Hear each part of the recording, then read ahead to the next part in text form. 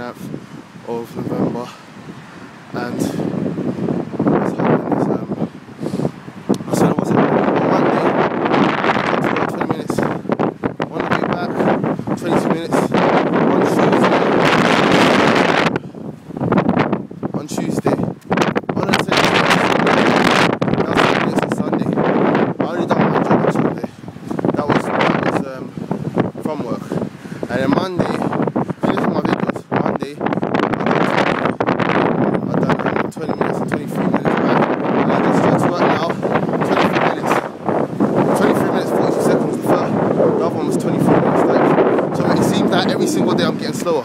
But I tell you what every day I feel that I'm working harder. Even don't worry about time. Because the thing is when I jog if I was to just jog in a nice pace probably get it down to 20 that's what I done the first time. But now I'm doing a lot of sprinting. When you start sprinting, you get so tired that you gotta jog slower. That's the reason why. So it's like I take so much energy's been taken out of me that then now I have to start jogging slower. That's the reason why it keeps getting later and later and later. Not so much about time. Yeah, I would try to I'll try to beat my time, but I want to be able to beat my beat my time with sprints. Yeah, so this time I work now. I left late, got there at eight. I started work at seven. I started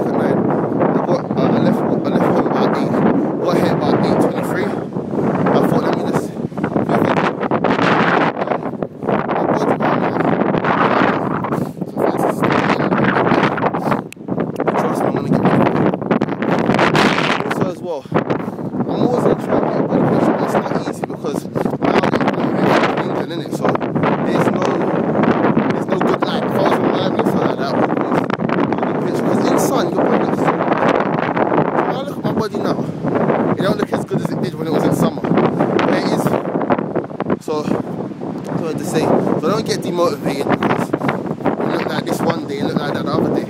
That's what I mean about people when they take their pictures. They take it in the light. So it looks so so it looks so amazing. You know what I mean? I mean when I take it in light, I look kinda like I've got faded abs. But I've got a bit of a belly, but you won't know that unless I turn sideways. But um yeah. I mean that's what I say. So I don't know.